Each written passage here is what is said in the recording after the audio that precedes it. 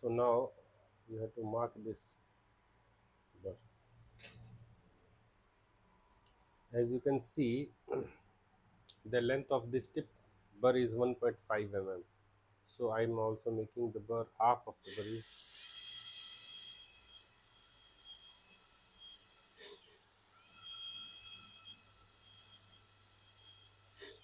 so i'm not making it full. I'll explain you afterwards why so i'm making this.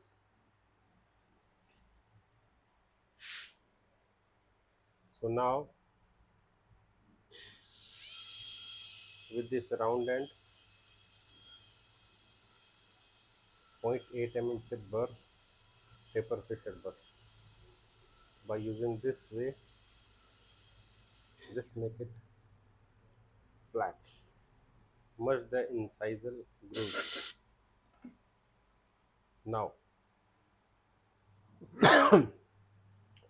now i am preparing only incisal part. See in veneer we do three step preparation but in the crown we, we always do two step preparation. I'll show you. So now only incisal i am preparing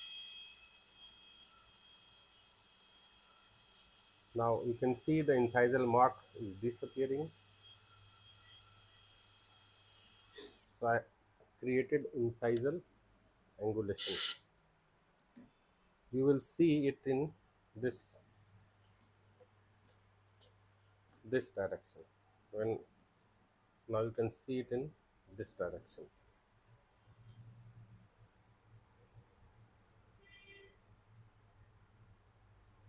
when you turn the head of the patient you can see this is the one plane now you have to keep your burr in the maximum bulged area. You can see if you place your burr here you can see there is a gap here. So this is undercut. So now to make it two planes you have to place your burr here and then run up to the level where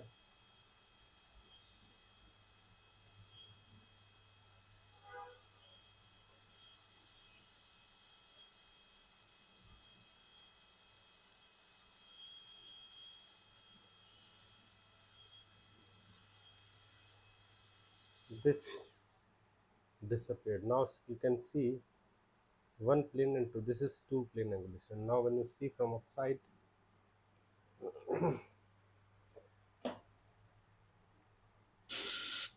can see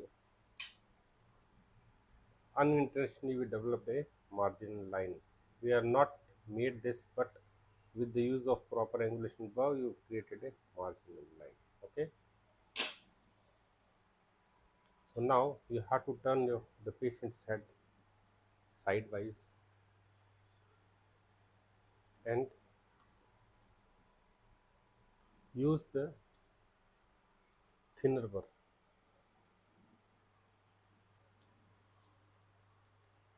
this is the tip of this is 0.6 so now the trick here is you have to make a vertical slot first by running the burr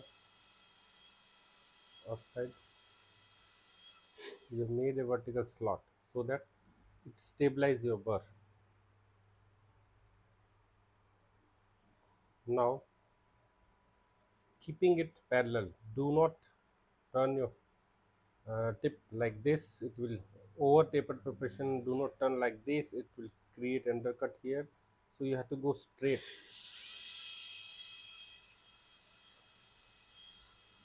And do not give pressure. Rely on the rotation of the burr only.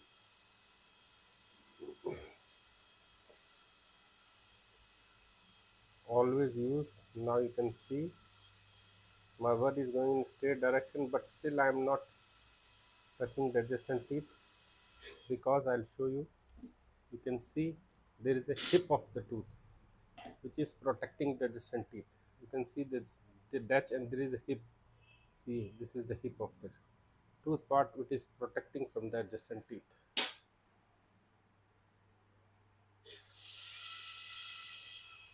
Now you can go slowly. Yeah. And this burr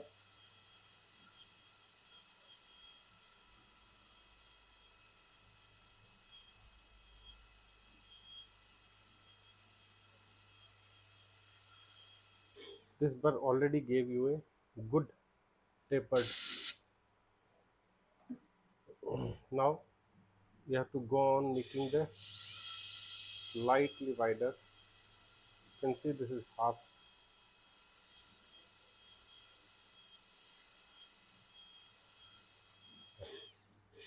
And continue it on the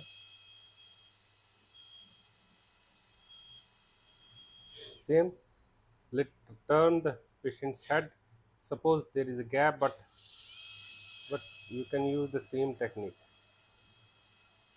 always follow the same technique make a vertical slot so that your burr will not slip. And it moves in the slot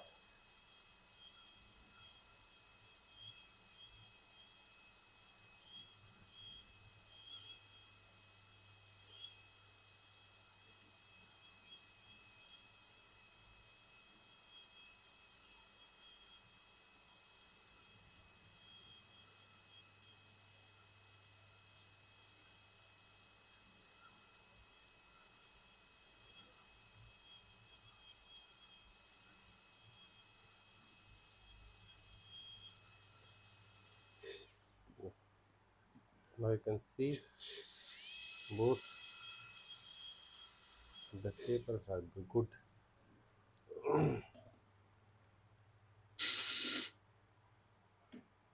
Now for palatal there are many tricks you can use but the simplest is to use the round burr. Do not use the burr like this. Otherwise you go inside the pulp very easily. See you have to use the burr like this and this incisal edge is hindering it. So always keep the mirror as as this far as possible okay? So and keep the diameter of this diamond burr in your mind. So now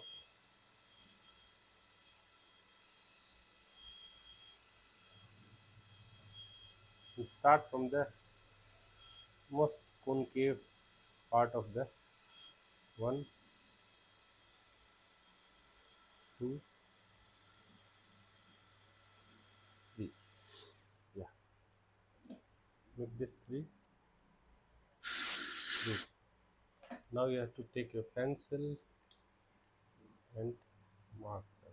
one two three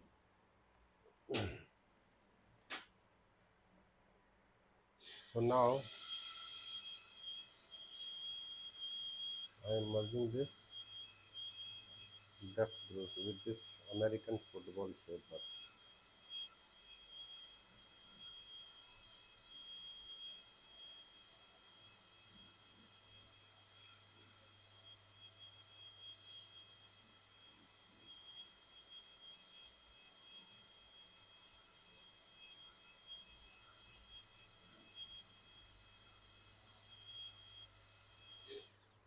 Now you can see the incisal edge is very thin. At least we need 1 mm. So we need to reduce it further.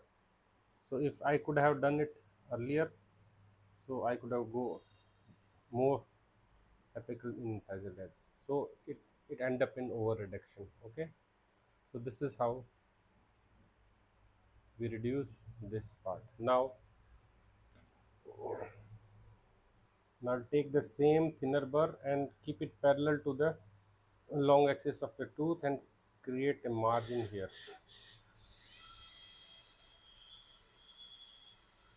And try to join the margin. With the anterior margin you created and make it little deeper in the proximal area always keep the work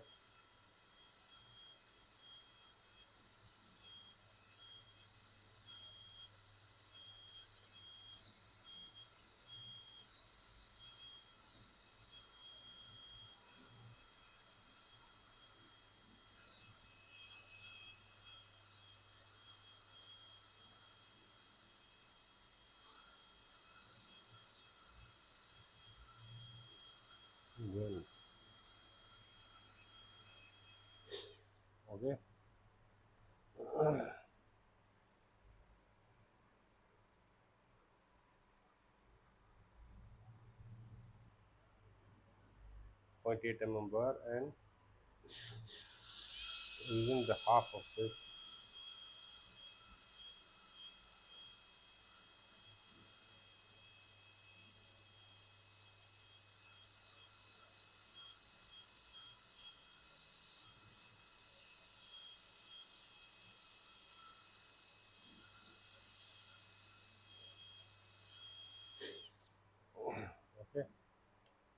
Now you can see all the margin in one frame.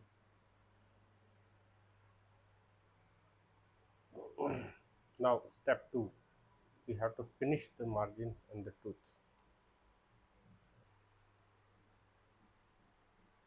Now, as I explained the incisal edge is thin so we need to reduce it little further from so that at least is 1 mm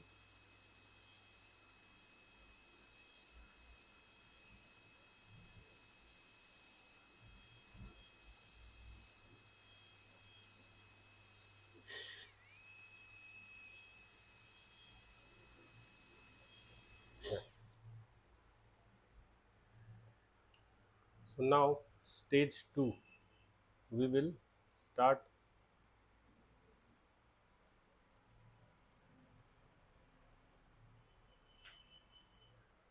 On finishing stage we use the red stripe burr that is of 8.8 diameter half of the burr you can use. Always keep the burr in and now with this burr I am taking my margin to the cervical area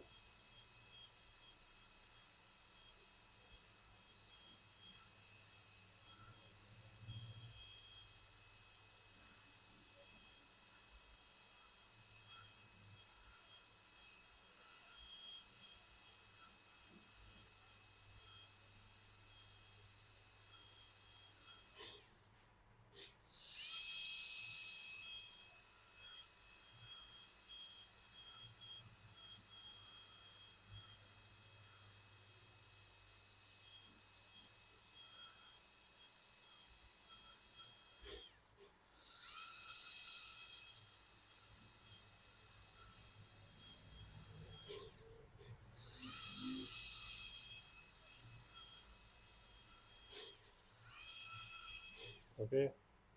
So now I am palatal margin. So palatal you can keep a little bit higher. Do not take the margin to the edge. No need to take the margin to the edge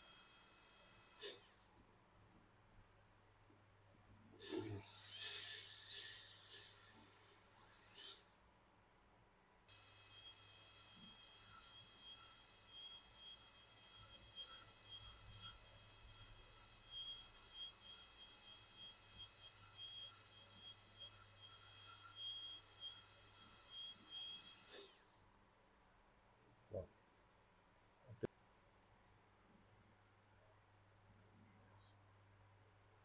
now I'll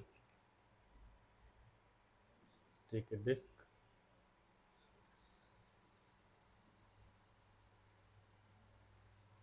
And round off the all the buccal incisal labial angles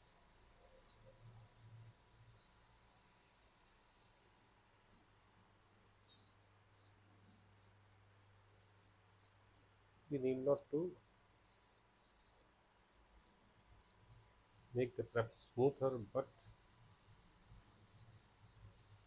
this and this palatal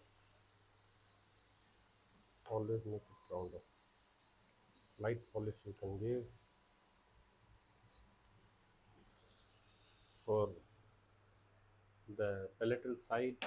I can use the enhance